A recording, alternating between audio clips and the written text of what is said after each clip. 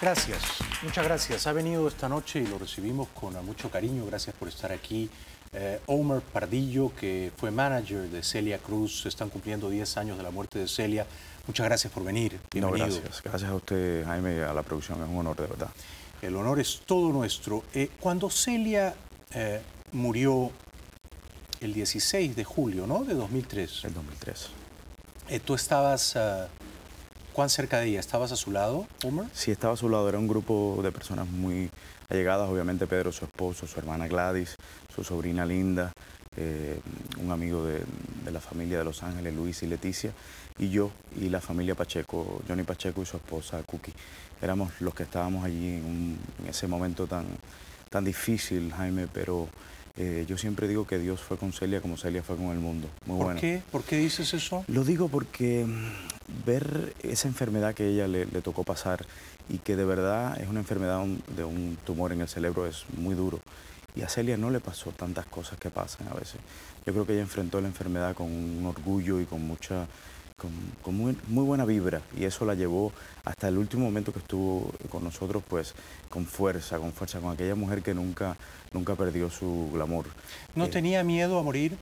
Yo creo que no. Aparte que desde el día que le dijeron que tenía cáncer, ella, estábamos Pedro y yo en un hospital en Nueva York y Pedro cuando dicen la noticia no pudo reaccionar.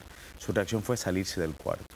Me tocó a mí quedarme con Celia y el médico y se me nos abrazamos llorando los dos muy fuertemente y darle ánimo, decirle, tú verás que Dios va a hacer contigo eh, el milagro y tú vas a sobrevivir esta, esta enfermedad.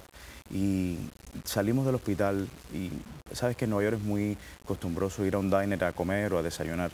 No fuimos a un diner y me dijo a Pedro y a mí y al chofer, que era Harley en ese momento, le dijo, este, de hoy en adelante no se menciona más la palabra cáncer vamos a decir, esa cosa que yo tengo. O sea, ella enfrentó desde ese momento, la apartó.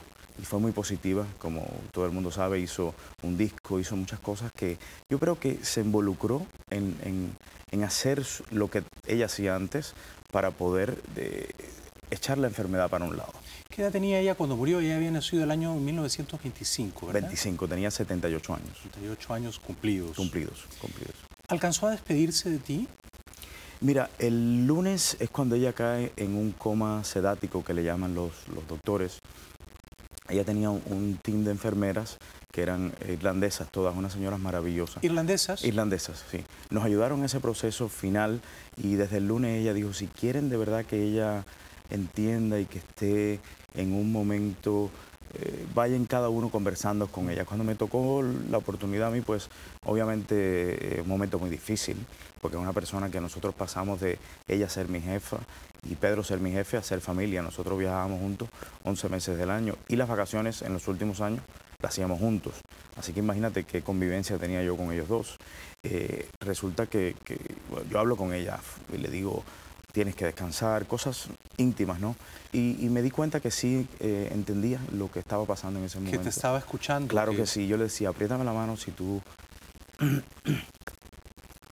Perdona si este recuerdo es muy sentimental para ti. Perdona, pero, eh, no, no.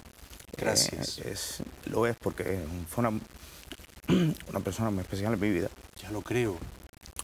y nada, creo que Dios supo en qué momento ella tenía que partir y, estuvo rodeada de todas los que la queríamos en el nivel personal y estuvo rodeada de, como sabes Jaime, de millones de personas alrededor del, mundo que la querían mucho.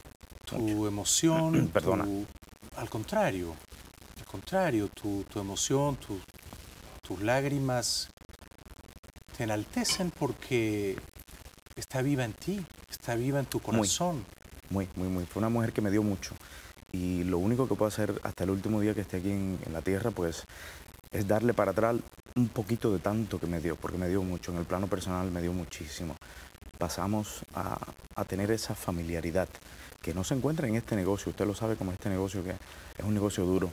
Eh, Celia tenía muchas eh, atenciones conmigo, con mi madre, eh, cosas especiales, cosas que hace su humanidad solamente, yo siempre decía, Celia, a ti solamente te sobrepasa tu, tu carrera artística, tu humanidad, porque era una mujer muy humana. Por ejemplo, cuéntanos algún detalle, alguna historia que tuvo contigo, con tu madre, que te conmovió.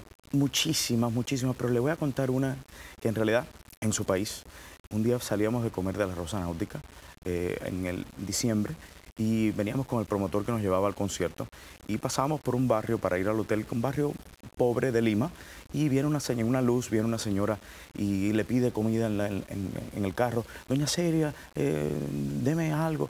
Y el promotor decía, esto es tan peligroso que no se puede ni bajar las ventanas. Pero Celia se quedó con esa imagen. Llegamos al hotel y me recuerdo que me dijo a Pedro y a mí, como ya se ha ido el promotor, vamos a alquilar un taxi y vamos a volver. Que yo estoy seguro que esa señora está Qué Increíble. ¿eh? Jaime, volvimos. Qué increíble. Y estaba la señora. Paramos en una pollería, sabes que en Lima hay muchas pollerías de estas que venden pollos asados con papas fritas que son riquísimos. Riquísimos. Riquísimos. Entonces compramos como cuatro eh, y fuimos allí. Y no fue que fuimos. Celia se baja del carro y decía, Celia, nos acaban de decir que esto es un barrio muy malo. Y ella dijo, hombre, a mí no me va a pasar nada. Porque toda esta gente es mi gente. Y así, o sea, de momento había allí 10 personas eh, comiendo y viendo a Celia Cruz que le pensaban que mentira le decían. No es verdad que tenemos a Celia Cruz aquí. Qué gran momento. Esa humildad, ¿no? Qué gran historia, ¿eh? Qué gran historia. Esa era Celia Cruz la que yo conocí. ¿Cómo la conociste? Entiendo que tú trabajabas en la disquera RMM. ¿Fue por razones profesionales que eh, llegaste a conocerla? ¿Cuál fue la circunstancia, la primera vez que tú hablaste con ella? No, eh, yo en realidad conozco a Celia cuando tenía 14 años. Oh, sí, a través mucho de, antes. mucho antes de empezar a trabajar. Una amiga de mi familia, María Hermida, que ya falleció, era muy amiga de Celia, pero yo no lo sabía. Y un día estoy en casa de María y sale en la televisión Celia. Y yo dije, esta señora tiene energía increíble. Dice María, hombre, tú sabes que Celia es muy amiga mía, se conocían desde la Cuba de los 50 y cuando en diciembre, cuando yo hago mi fiesta de Navidad, Celia siempre viene te voy a invitar, porque yo nunca iba a la fiesta porque pensé que era una fiesta para mis abuelos, gente mayor y eso. ¿Esto era en Nueva York? En, Nueva York, en Queens, en Queens. Y nunca había ido. Entonces, pues... Eh, y María te prometió, cuando haga la fiesta y venga Celia, te invito. Así fue. Y entonces, pues, ese año, pues, fui yo por primera vez a esa fiesta que oía, oía, que pasaba todos los diciembre, pero yo como era un chico, pues no iba, ¿no? Y ahí conocí a Celia la primera vez. De ahí establecimos una relación. Celia, si te conocía, te mandaba cartas y te mandaba postales. Empezó esa relación. Yo cuando cumplo 17 años que estoy en el colegio, necesito hacer una clase de verano. Y dije, bueno, voy a irme a la disquera donde Celia trabaja, que aparte no era Celia, tenía muchísimos artistas allí. Mm. Me tomó, Jaime, tres días que me, me recibiera Real Mercado, que era el manager de Celia. Pero yo soy muy persistente. Soy muy buen librano. Y como buen librano, Tú querías llegar a Celia. Perdón. Eh, no le digo nada a Real Mercado, que yo conocí a Celia allá. Y eh, Real me dice, bueno, empieza a trabajar aquí el verano. Trabajo el verano haciendo copias de video, haciendo lo que hace un chico de esa edad. Viene Celia en septiembre a la oficina y cuando me ve me dice, hombre, ¿qué tú haces acá? Digo, no, Celia, llevo aquí dos meses trabajando con Rafi. ¿Te reconoció enseguida? Claro, claro. Y entonces Rafi me dice, ¿tú conoces a Celia? Digo, sí. Y ahí Celia dice, claro, sí. Y, dice Rafi, Rafi es dominicano, puertorriqueño. dice, nene, Tú cuando tenga algo que ver con Celia, te voy a empezar a mandar a ti a, las cosas pequeñas. Y me da, me dice, mira, este cuarto que está aquí está lleno de videos, de contratos, de fotos. Nene, ahí hay una desorganización total. Ese es tu proyecto primero, a ver qué tan bueno eres tú.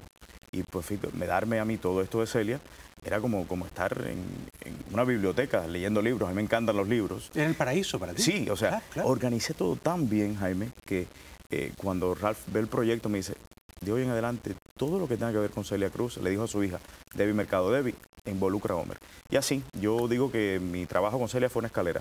Empecé asistente de su publicista, asistente de la persona que viajaba con ella. Después tuve ese gran honor de manejarla en los últimos años. Pero eras un muchachito, entonces cuando la conociste en casa de tu amiga María, tenías 17, 14 años. 14 años. Y empecé a trabajar a los 17 en RMM. Eh, cuando Celia falleció hace 10 años, ¿dejó un testamento? Sí, claro, claro. ¿Y le dejó todo a Pedro, a su marido? Sí, Pedro era el heredero universal, Que, le, llaman. Y cuando falleció Pedro, Pedro falleció como cuatro años y cuatro años después, en 2007.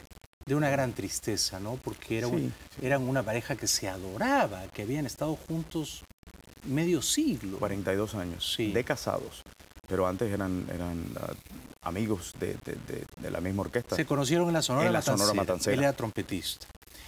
Eh, cuando falleció eh, eh, Pedro, digamos, el legado musical de Celia, sus canciones y eso, ¿a quién pasó? Bueno, todo está en un trust que le llaman y hay siete beneficiarios pues todo lo que llega de sus regalías y todo está ahí y se reparte a, los beneficiarios que quedan en ese trust de, Pedro. Siete beneficiarios, incluyendo los hijos. ¿Hay hijos biológicos? Los hijos biológicos de Pedro, sí, incluyendo una hija y nietas de Pedro. Eh, la familia en Cuba, por razones que yo desconozco, ellos no, nunca la pusieron en el testamento y es básicamente la familia de aquí. De aquí, eh, eh, hijos de Pedro, no de Celia. Hijos de Pedro, sí, no de Celia. ¿Y tú eres uno de los siete beneficiarios? Sí, ellos fueron tan ah, especiales siempre, que yo creo que hay, dos personas que no son de la familia y yo tengo ese, honor y ese gusto. Te eligieron casi como un hijo, ¿eh? Sí, es que como yo creo que... Es un gesto precioso, ¿no? Muy lindo, claro, muy lindo, muy lindo. Aparte, pasar eh, tanto tiempo con ellos. Yo pasaba más tiempo con Celia y Pedro que con mi propia familia y ellos más tiempo conmigo que con, con su propia familia. Aparte que el tiempo lo dice todo. No es que, wow, este muchacho llegó a la vida de Celia y se convirtió en el todo. Fueron los años y fueron las, las pruebas que pasé junto a ellos. Ya lo creo, grandes pruebas de amor. Como un testimonio de amor a Celia y a Pedro, es este disco y este libro bellísimos que has eh, eh, recogido, trabajado. Eh, Celia Cruz, The Absolute Collection. Esto ya está a disposición del público, de los muchos millones de fans de Celia. Homer. Ya está electrónicamente en todos los portales de, música que lo pueden adquirir en downloads. sale el día 30 de julio. En realidad la idea es de Sony Music, que fue su compañía disquera. Es un libro que recoge los 30 temas clásicos de Celia. Aparte, eh, Jaime, adentro, si puedes ver, hay fotos inéditas. Lo he visto, me ha encantado. el, diseño es súper, lo ha hecho una compañía de Miami, se llama Elastic People, que son increíbles. El muchacho Carlos Pérez ha hecho un trabajo increíble. Y hay citas de amigos de Celia. Sí, cómo no, muy lo he visto, muy buenas. Muy, buenas, de Ricky Martin, de Mark Anthony, de Pitbull. De Beyoncé. De Beyoncé. Que tiene una cita espectacular, de Pablo Milanés. Sí, me sorprendió la de Pablo. ¿eh? Es un gran cantante cubano que aunque viva en la isla, eh, pues... Un gran eh, artista, ¿no? Un gran artista y fue, para mí es una de las citas más interesantes. Sí, ¿verdad? Resumió, sin haber, él conoció a Celia de niño, no, desafortunadamente porque Celia viene acá y él se queda en, la isla. coincidimos en países, pero nunca, nunca hubo ese encuentro. Pero parece que ese, ese amor siguió por Celia. Y la verdad que Celia tenía dos cantantes que, vivían en la isla y le gustaba mucho. Una era una gran cantante cubana que se llamaba Elena Burke, que era la favorita de Pedro. en casa de Celia, siempre que estaban en su casa, la música que tocaba era la de Elena Burke. Ah, sí, Y de Pablo le gustaba mucho también un disco que hizo de duetos. Mira tú. Y lo poníamos en el carro muchísimo, especialmente cuando ella eh, tenía las terapias eh, y sus radiaciones. Íbamos siempre oyendo y en la ida o en el regreso eh, las canciones de Pablo Milanés. irónicamente. irónicamente. Esto a Pablo me imagino que significará mucho para él. Pues ya saben, tenemos que ir brevemente a la publicidad. Por favor, quédate un momento más. Eh, está ya casi a la venta, no, bueno, casi no, ya en, digamos, en Amazon está. Sí, sí, en todos los portales. Uh, Celia Cruz, The Absolute Collection. Si hay un disco que yo creo que está lleno de amor al legado de Celia, es este disco, hay que conseguirlo. Y a fines de mes está Celia de la Caridad Cruz Alfonso, que así se llamó. Era su nombre, era su nombre de pila. Eh, este libro precioso de Celia. Regresamos con Homer Pardillo después de la pausa, ya volvemos.